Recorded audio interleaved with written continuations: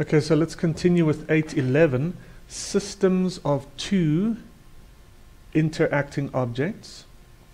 Okay, um, so what we saw in the last um, one on 811, last video, was that for a system of two interacting objects that are applying internal forces on each other, the only change in momentum will be due to an external force. Okay? Now, let us look at this idea of center of mass. Okay, so remember you've got two objects that are interacting with each other. Each of those objects has inertia. Each of those objects are applying forces on each other. Okay, so there's a lot happening inside the system. But um, let's just take a look now simply at the center of mass.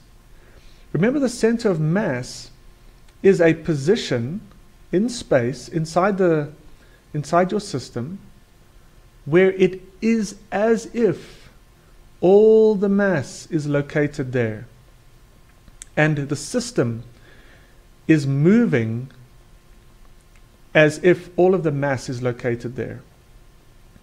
I hope, hope that makes sense. So if there's no external force, remember that the velocity of the center of mass will be constant. However, if there's an external force to the system, this velocity will change.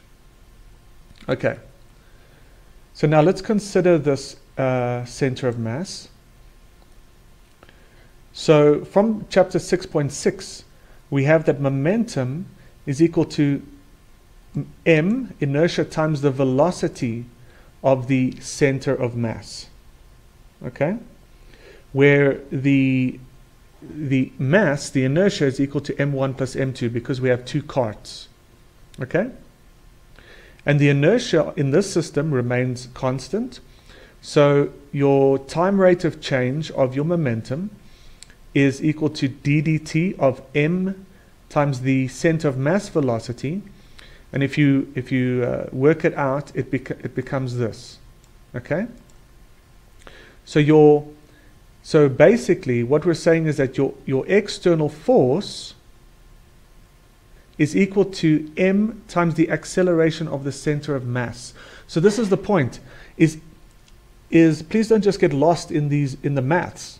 What we're saying is, is that if you've got two objects interacting with each other inside a system, okay, we can calculate the acceleration of the center of mass simply if we had the, uh, the external force. So the acceleration of that center of mass can be calculated if we simply calculate the external force and divide it by the inertia of the system. Okay? So the center of mass of a two object system accelerates as though both objects were located at the center of mass and the external force were exerted at that point. Okay? So we've got these two objects. They're, they're doing all kinds of things inside the system.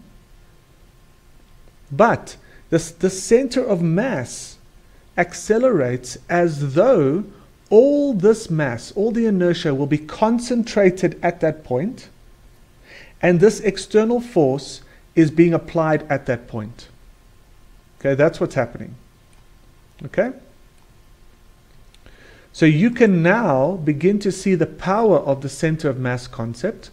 Although we cannot determine the acceleration of the individual carts without knowing more about their interactions, equation 836 allows us to calculate the motion of their center of mass regardless of the details of the magnetic interaction.